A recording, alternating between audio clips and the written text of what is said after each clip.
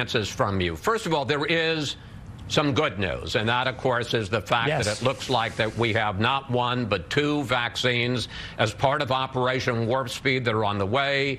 Pfizer on Friday uh, applied for emergency use authorization. Assuming that they're approved by the FDA, how confident should Americans be about taking these vaccines? Yeah, I wouldn't call this good news. I would call this great news. It's fantastic. It's probably the best news we've had since the start of the pandemic. We have two vaccines that are making their way through the approval process that may be as high as 95% effective and seem to be safe based on the information we've seen so far.